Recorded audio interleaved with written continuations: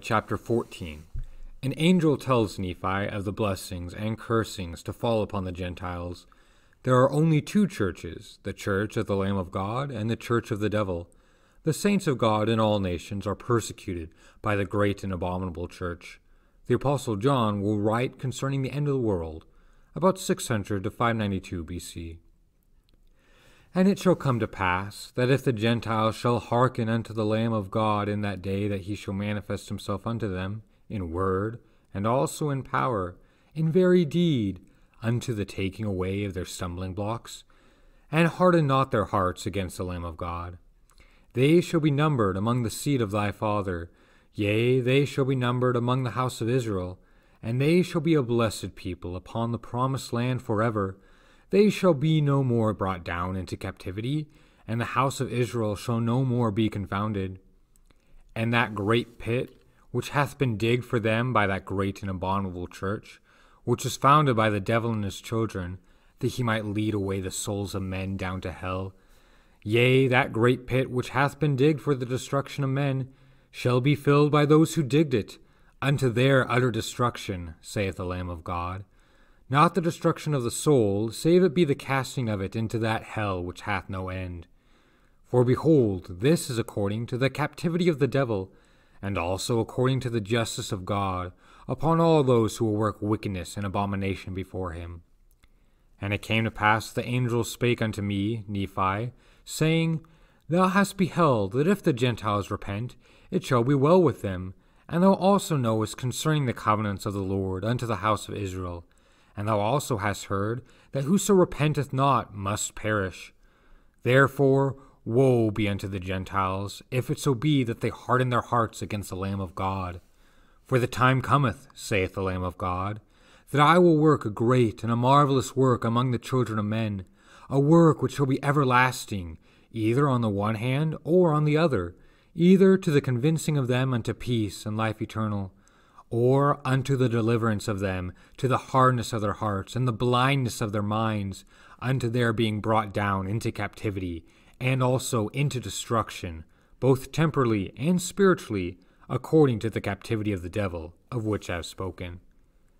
And it came to pass that when the angel had spoken these words, he said unto me, Rememberest thou the covenants of the Father unto the house of Israel? I said unto him, Yea.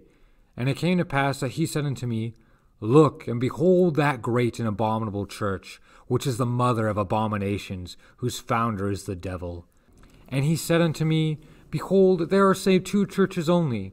The one is the church of the Lamb of God, and the other is the church of the devil. Wherefore, whoso belongeth not to the church of the Lamb of God belongeth to that great church, which is the mother of abominations, and she is the whore of all the earth.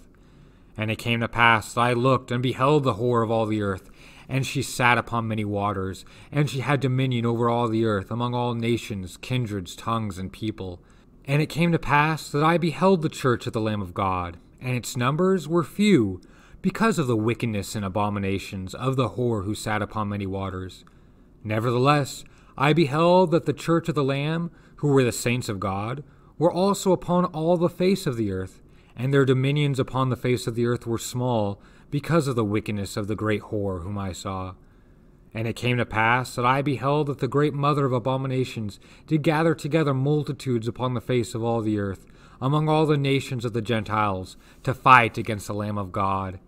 And it came to pass that I, Nephi, beheld the power of the Lamb of God, that it descended upon the saints of the church of the Lamb, and upon the covenant people of the Lord, who were scattered upon all the face of the earth. And they were armed with righteousness, and with the power of God in great glory. And it came to pass that I beheld that the wrath of God was poured out upon that great and abominable church, insomuch that there were wars and rumors of wars among all the nations and kindreds of the earth. And as there began to be wars and rumors of wars among all the nations which belong to the mother of abominations, the angel spake unto me, saying, Behold, the wrath of God is upon the mother of harlots, and behold, thou seest all these things.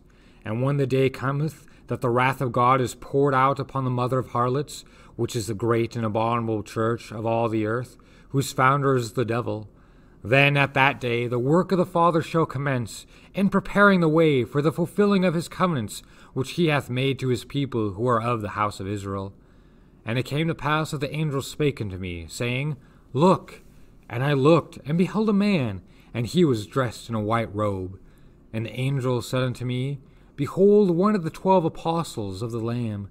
Behold, he shall see and write the remainder of these things, yea, and also many things which have been.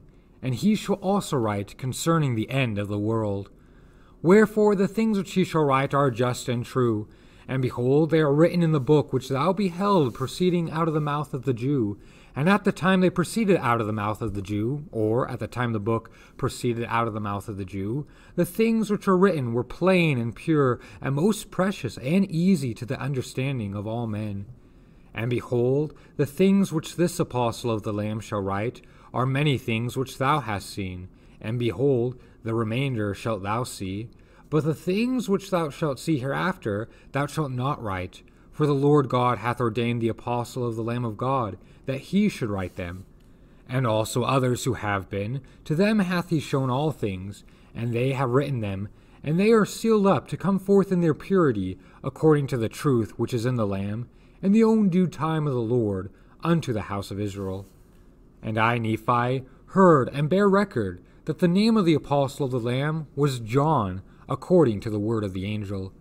And behold, I, Nephi, am forbidden that I should write the remainder of the things which I saw and heard.